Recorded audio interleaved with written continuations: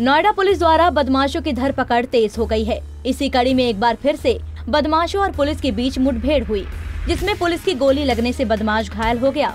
घायल बदमाश की पहचान फहीमुद्दीन के नाम से हुई है, जो गैंगस्टर एक्ट में लंबे समय से फरार चल रहा था।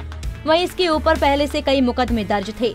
हालाँकि इसका एक साथी मौके से फरार होने में कामयाब रहा है।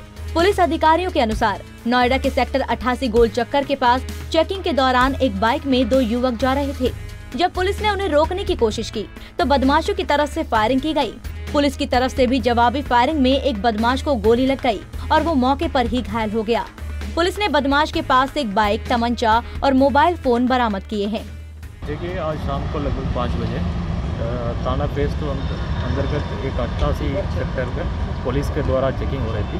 वहाँ से एक संदिग्ध वाहन आया, पुलिस ने रुकने के लिए कोशिश किए थे। बदमाश वहाँ से भागने के लिए कोशिश किए थे। पुलिस ने पीछे किया वहाँ वो बदमाश पुलिस के ऊपर हल्का सा फायरिंग स्टार्ट किया था। इसलिए पुलिस ने भी हल्का सा फायरिंग किया इसमें एक बदमाश का हल्का सा गोली लगाई। ये ये बड़ी क्रिमिनल है इनके खिलाफ आठ मुकदमा दर्ज है।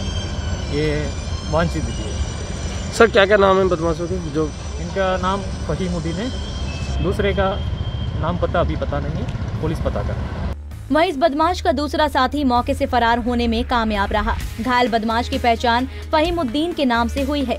फ़ेज़ दो थाना पुलिस की तरफ़ से इस पर गैंगस्टर एक्ट की कार्रवाई भी की गई थी। फ़िलहाल पुलिस ने घायल बदमाश को अस्पताल में भर्ती करा दिया है, जहाँ घायल बदमाश का इलाज चल रहा है।